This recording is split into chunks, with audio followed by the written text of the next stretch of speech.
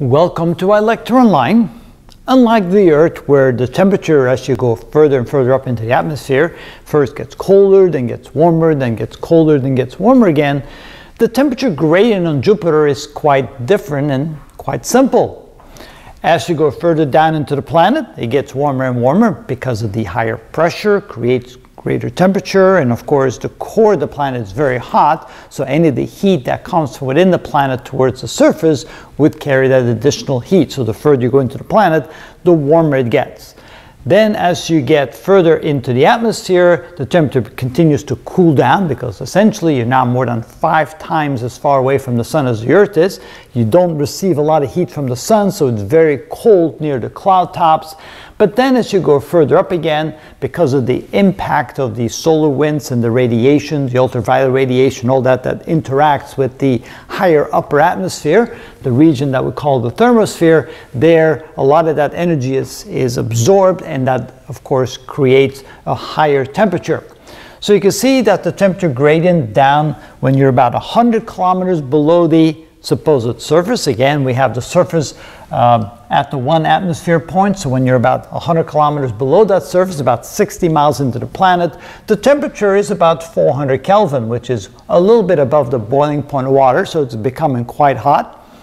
If you're down to about 50 kilometers, about 30 miles below the point where the atmospheric pressure is one atmosphere, where you begin to get into the water ice layer and the ammonium hydrosulfide ice layer, the cloud regions there that contain predominantly those, uh, those elements. Then you can see that the temperature has now reached about 300 Kelvin. It's actually a little bit cooler than that, a little bit below 300 Kelvin. So roughly room temperature. If you want to find a comfortable place to live on Jupiter, it would be below the water ice layer. Of course, at that point, you talk about atmospheric pressures about seven, eight, nine atmospheres, so you'd better have something to protect you against that enormous pressure of the atmosphere. Then as you get further up, when you get down to about the zero kilometer point, which is where the atmospheric pressure is one atmosphere, now notice the temperature is quite cold. We're now down to about 200 Kelvin, which is minus 73 degrees Celsius. So now we're talking about temperatures that are like the frigid winters in the Antarctic and maybe in some cases when it gets extremely cold in Siberia, you might reach temperatures about this cold. So that is at the uh, at the region where we can say the planet starts and the atmosphere ends as you go down towards the planet. Above that, notice the temperature continues to decrease as the air gets thinner. Uh, you get further away from the planet, any of the heat that might come from the planet. There's not as much heat retained that we receive from the sun. And so now the temperature near the top of the cloud covers, as we call it, just above the haze layer. We're now at the top of the troposphere. The temperature has gone down to about minus, ooh, ooh not minus of course because that would be impossible. There's no possible way that you could be below zero Kelvin. So essentially 115 Kelvin to 125 Kelvin is the temperature at the very uh, top of the clouds. That's the coldest region in the atmosphere. If you then go any higher than that you can see that the temperature then begins to increase again until you reach a high of about 900 Kelvin near the top of the thermosphere when you begin to enter into the exosphere. There, the air is so thin that it really almost makes no sense to talk about temperature. And by then, of course, the temperature uh, goes way down as you no longer have the accumulation of atmospheric content to keep yourself warm. So that's what the temperature gradient looks like in Jupiter, very simple. As you go into the planet, it gets warmer. As you go above the planet into what we would call the upper atmosphere, uh, the troposphere, you see it gets colder and colder. Once you get past the troposphere into the stratosphere, then it gets quite warm again. Again, it's not like you could go there and sunbathe at those altitudes because it would still be frigidly cold, but it's the speed at which the molecules move from which we calculate their temperatures that would then give you those very high numbers. So we're talking about temperatures of well over a thousand degrees Fahrenheit or in the five, six, seven hundred degrees Celsius range once you get to the upper part of the of the thermosphere. So that's it. That is what we call the temperature gradient of Jupiter. Well, no, this is essentially what you'd call the air temperature. But the, the question would be, what would you read if you put a thermometer there? And I don't think you would read those high temperatures on a thermometer because of the cooling effect of the radiation into space would offset the temperature of the actual molecules themselves.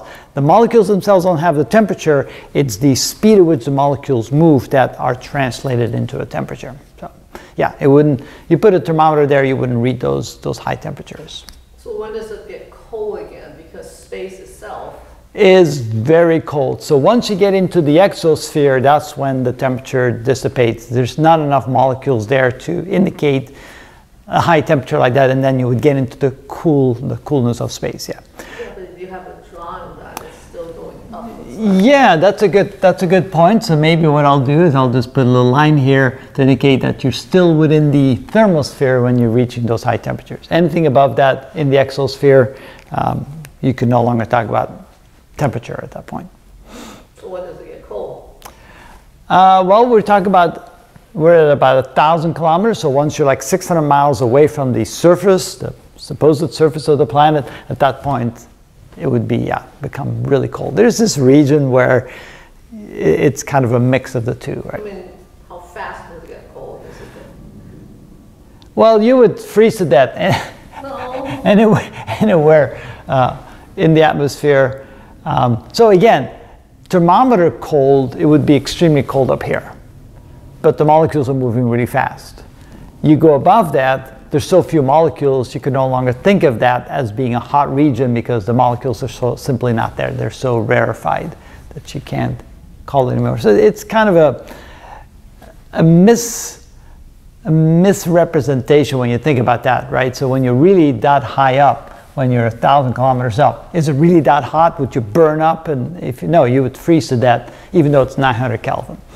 What about when you said that it's um, 27 degrees Celsius? Oh, that would be nice. You would actually feel that temperature. So you would actually have room temperature at uh, a depth of about 50 kilometers into surface. But the problem, of course, uh, you would be. So let's say you're at eight atmospheres.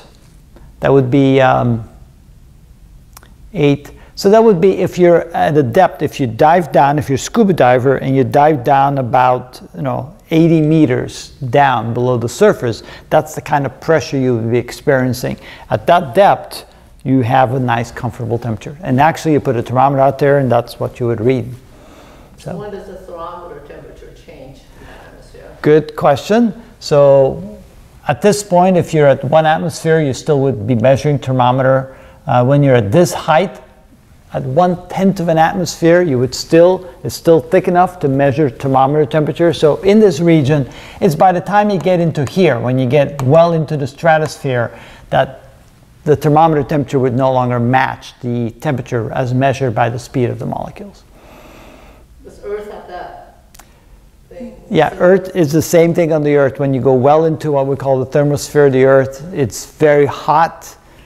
But again, if you put a thermometer there, you would freeze to death, right? It would be very, very cold uh, to a person, but um, it would be very hot because the molecules are moving so fast. They're, they're absorbing enormous amount of energy from space, from the radiation of the sun, from the, the, uh, the particles impacting on the upper atmosphere. So the, the energy is there, but you would also be radiated out to space really fast because it's, there's not a lot of atmosphere. So the influx of energy relative to the expenditure of heat, you would be very, very cold that high up.